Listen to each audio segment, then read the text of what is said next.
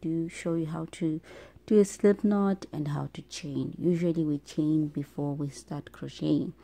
Uh, in the previous video I showed you how to do a slip knot. I showed you this way that you take your yarn you wrap it just once at an angle to form an X and the other side to form two parallel lines. You take your hook um, then you put it under over the second one then you hook then you release but then i realized some of you you might not be it might be difficult just holding the the crochet.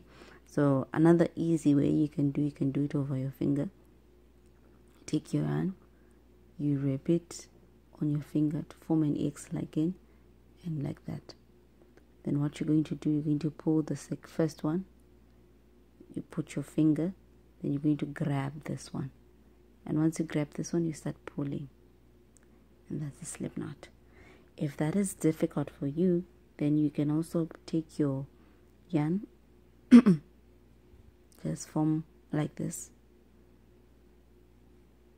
Mm -hmm.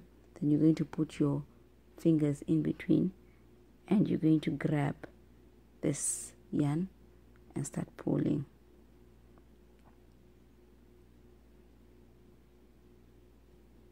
So that's a slip knot right adjustable so once you do your slip knot um, you can either hold, hold your hook like a knife or like and, and now to start the chaining we're going to take um, your hand you put your yarn in between the small finger and the three fingers and you're going to hold your hand yarn.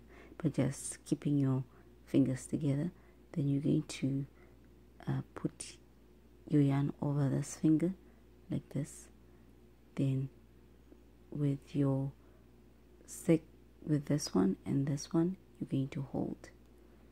Okay so that's how you hold. Then you hold your hook like a knife.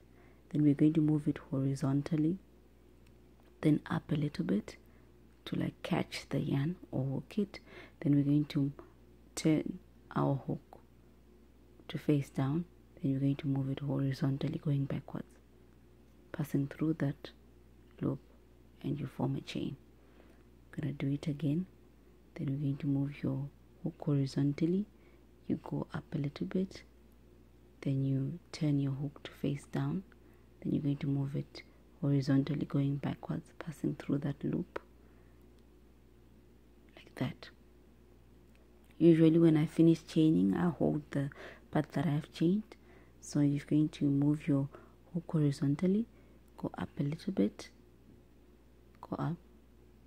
Then you turn your hook downwards to face down.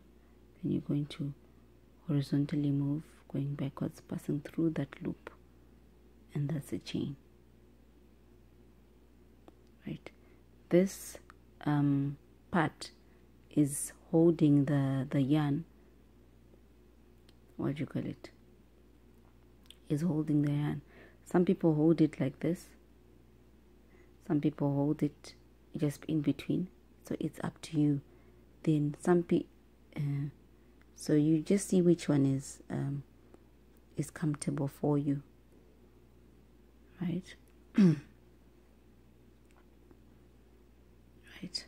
So again you move your hook horizontally go up a little bit to catch or to hook that yarn. Then you turn your crochet to face down then you're going to move horizontally going backwards passing through that loop. Right? You can either hold your hook like a knife like this or like a pencil. And sometimes how you hold it changes with the movement that you're doing. Um yeah so I'm just gonna show you again. Take your your yarn put it between your fingers your three fingers this three fingers and this one. Then you're going to put your yarn over this one right? Then you're going to with these other two fingers this one and this one you're going to hold the part that has the this part. Then you're going to holding my hook like a knife or like a pencil I'm going to move it horizontally go up a little bit to catch that yarn or to hook it then I'm going to turn my hook to face downwards.